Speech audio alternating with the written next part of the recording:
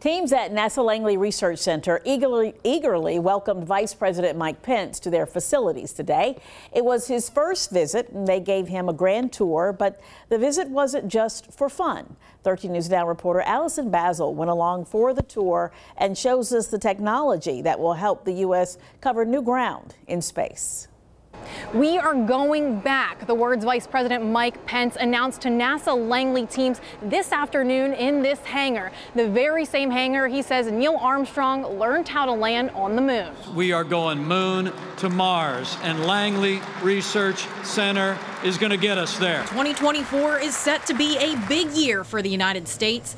Vice President Mike Pence says the next man and first woman will step foot on the moon, but not without help from brilliant minds in Hampton. The brilliant minds here at Langley have come up with the technologies and the methods and the theories that have made it possible for us to lead in space. Wednesday, Pence got to see those innovations during his first tour through NASA Langley Research Center, where our guests were able to immerse themselves in real in what it will take to realize Artemis from arrival to precision landing. The center's program Artemis focuses on new milestones in space. Pence announced President Trump made NASA's budget a priority, which calls for a NASA budget of more than $25 billion. It's a 12 percent increase. Pence says 12 billion of that is focused on the moon to Mars mission. Artemis program itself that's being developed here at Langley and NASA has, has all been a result of the President's determination to use the National Space Council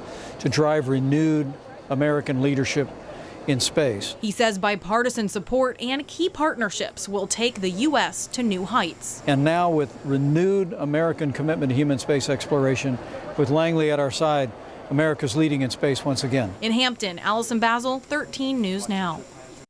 Virginia Congresswoman Elaine Luria just issued a statement reacting to Vice President's visit to NASA Langley. She said she's happy he got the chance to see what happens at the facility and that the president's recent budget proposal funds much of that work. But she also said she's disappointed that it cuts what's called the CLARREO Pathfinder mission, which boosts national security and plans for climate change. She hopes the tour today will make the administration reconsider the plan.